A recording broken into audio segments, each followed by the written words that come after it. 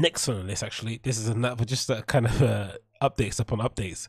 Callen actually appeared. Callen actually did. Um, Bryan Callen did a what everyone else does, I think, when they get accused of sexual misconduct or something untoward or saying something, you know, a bit racy on social, they usually do a bit of a conservative um, apology tour because for, for the most part those are the only platforms that will allow you to kind of speak your piece which is really disgusting in that regard right? If you get accused of something you should be allowed to go on any platform you want to fight your case in good faith right? Not obviously be you know ambushed by journalists or pundits that want to make a name for themselves and get a bit of a moment on social but you should be allowed to the same platform that the accusers have you should be allowed to have it too. Um, even if someone accuses you anonymously you should be allowed to call them out if they call you out by your name. That should be a thing but of course, Steven Crowder's got his own um demons or his own skeletons in his closet. he's obviously got you know people are not really big fans of his show in general and his political leanings and his point of view whatever put that to one side um he obviously got in it and revealed some interesting developments in the whole uh, T5K thing. So one number one is that he's no longer going to be on T5K. That show has been basically rebranded what it is now. Because I think a lot of fans realized that on the description they changed it and took off Bryan's of name and just put uh, uh, Brendan with different co-hosts every week and stuff, and called him a talented or a successful comedian, which was mad. But I guess on paper he is. But hey, they call him a successful comedian and he's obviously they've completely distanced themselves from Bryan Callen. I think even though the first show back he did mention he's going to come back on the show, but it seems like from the sponsors and the people that they're doing business with on the back end, because as much as Bryan likes to, or Brendan likes to say otherwise. It's for sure, you know, T5K is their main cash cow. That's the one that brings them. That's the place where all of the sort of business avenues that Brendan, Brendan's been able to go down have kind of spawned from. Without T5K, he doesn't have his Fit Boy Bike Club, doesn't have below the belt, doesn't have all these other things that he does. That's the main cash cow. So they have to protect that, which is understandable. So I guess they came to a mutual decision to kind of take him off the show, rebrand it, or not really rebrand, well, rebrand it in name alone or in description alone, have different co-host that hasn't really worked out too tough. I think Mike Efford has probably had enough of Brendan's interruptions. It seems like for the judging by the last couple of shows I've seen, but you know the quality has gone way way down. If anything, Brendan's probably the best operator for that show because he's obviously got the business mind to keep that show alive. But in terms of entertainment pro- entertainment purposes and providing an actual fun, interesting, hilarious show, he hasn't got a clue that it doesn't doesn't work. And I think you see that with the King and the Sting. That sort of works mostly because of Theo Von's genius, and they sort of play off each other really well because they have a genuine sort of friendship. But without that, without that comedic relief, without the ability to kind of bounce off each other and kind of you know have a bit of fun with stuff, it turns into just Brendan inviting his friends in who are probably less less successful and sort of like play second fiddle. It's a weird dynamic. It doesn't work that well. So they're gonna rebrand it, and now they've got their own show called The Fighter and the Wrinks, which is you know hilarious and probably the most LA thing ever, right? You've been accused of something heinous like rape, and then you go out and try and make a behind the paywall show, behind the paywall show called The Fighter and the Wrinks. You know, the name Wrinks, what was that spawned, what, the past few months maybe, or something, right?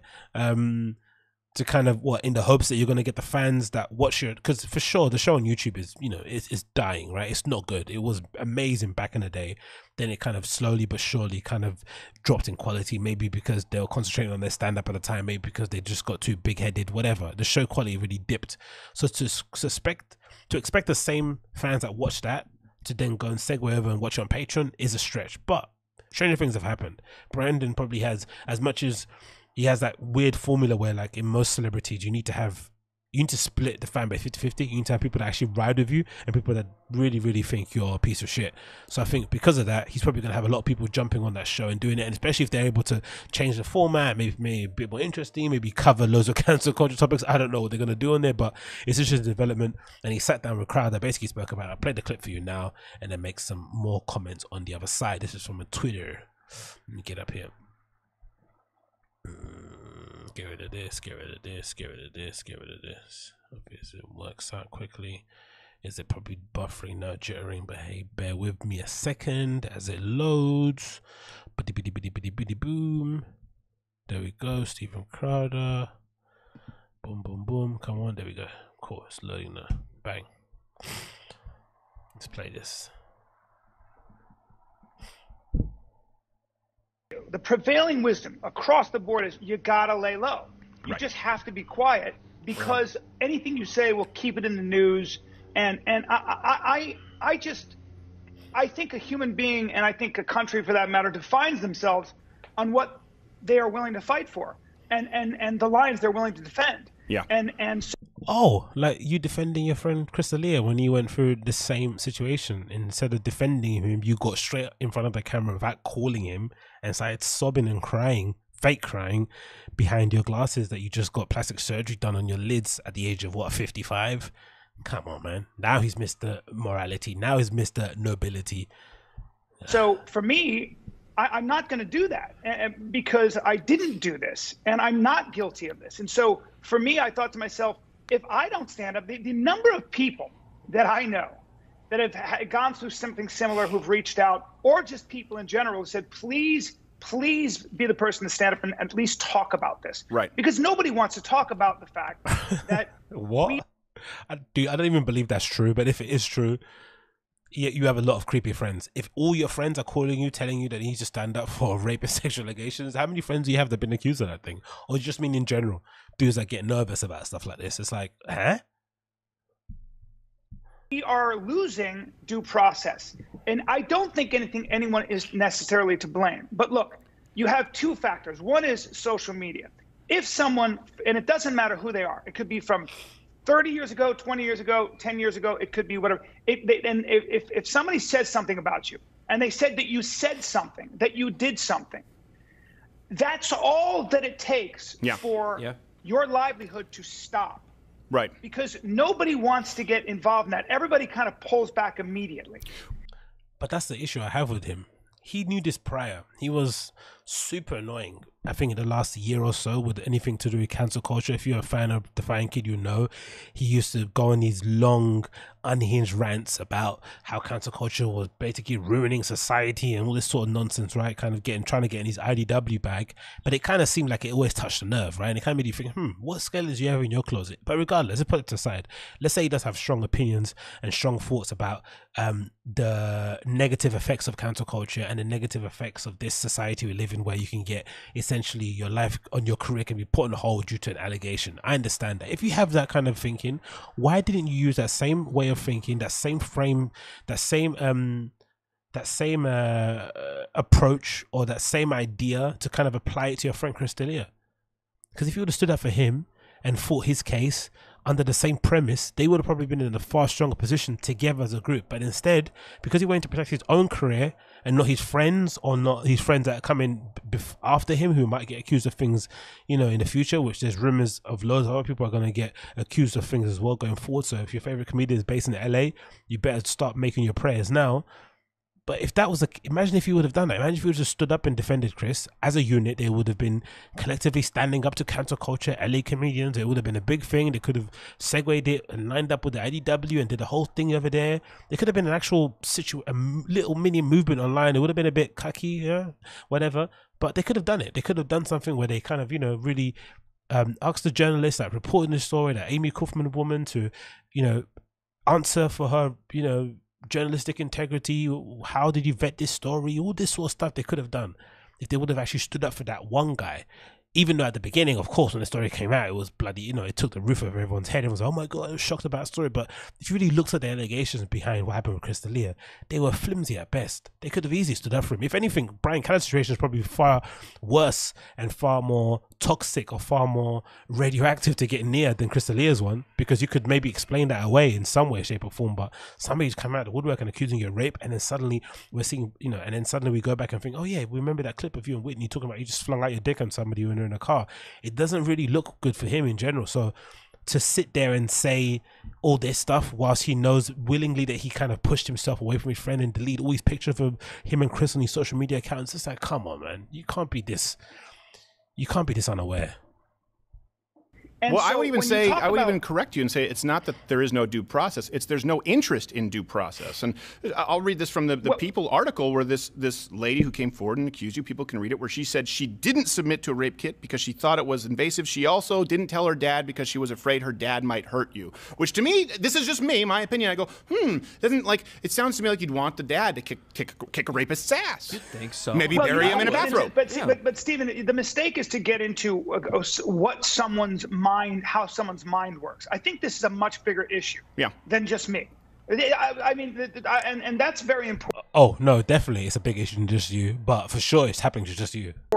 I, I think that the fact of the matter is, we live in a time when when if someone says something about you, you can you can be annihilated, and you and there's no redemption. Mm-hmm. And, and that is a fact, and that is happening. And I think it's a fun- function of one, whatever's happened in social media, it is this sort of mob rule, this sort of thing that people jump on.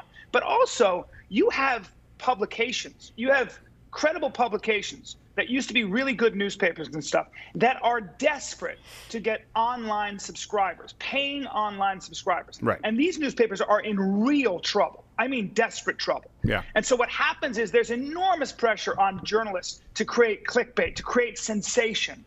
Um, and, and, and so, so if you get more clicks, if you get more retweets, that's, that is the only way to survive. What happened? I don't know, Bryan, man.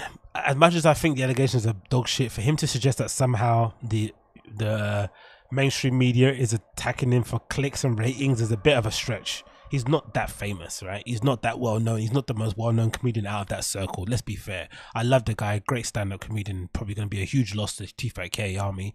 But let's be real. Um, if anything, this was more so people seeing an easy way to basically i think the real target is probably joe rogan right they see a good way to kind of take him down by one by one knocking off all the people that surround him and then eventually going and hitting the big well that's probably the reason that they're attacking him in this regard um, and again, he's probably unlucky because he's the only character within that group that does actually have some skeleton in his closet, right? He does actually have some stories and instances that seem a little bit fishy, that don't seem the, the most um, appropriate way to kind of deal with women in the Hollywood industry. So, for sure, if they wanted to find some information, if they wanted to dig up some stories about anyone in their community, definitely it would be him.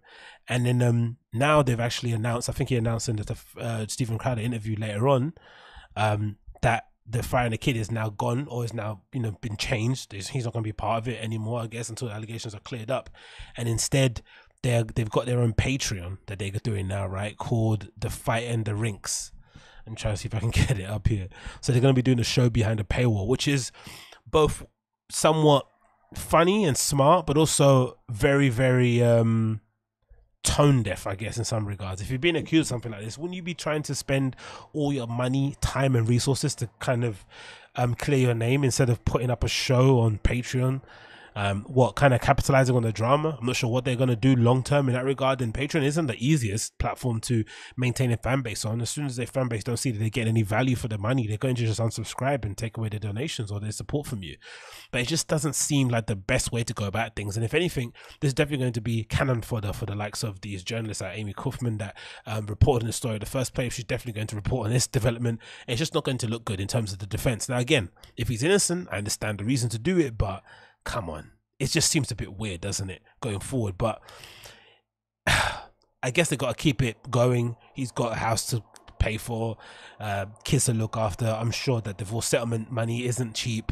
Um, whatever, you know what I mean? Living in LA, doing your thing, you know, you got to make a living. So I don't disparage the guy. Go and do your thing. But I just think if you're really innocent, you would really spend your time and money trying to clear your name. It's probably not going to do make any difference because I'm sure, you know, people in industry are happy he's gone in some regard because it seems like anyone that they do try and cancel, they obviously have a bit of a axe to ground with that person anyway. Apart from Chris Hardwick, it seems like no one actually gets cancelled and reintroduced back into the community. And even Chris Hardwick, maybe if you sat down with him, he could probably say to you, certain people have have kind of permanently backed away from him and you know taken away deals from him that he can never get back. I don't know, but there's not many of those kind of cases where somebody gets accused of something really heinous, proves their name, proves it, um, proves the story to be incorrect, and then kind of is able to get their way back in the industry. You have to be a mega mega star like a Justin Bieber, right, or that Jake and Josh guy, right, that recently been accused of something.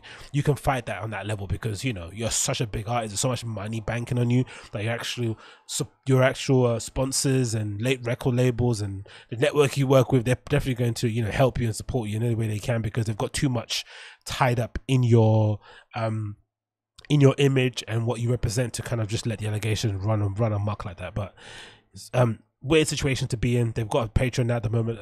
Again, I can't find it. Let me see if I can get it. The fighter, the fighter, and the Wrinks Patreon. See if I can get it up on here. They set it up recently. I'm pretty sure.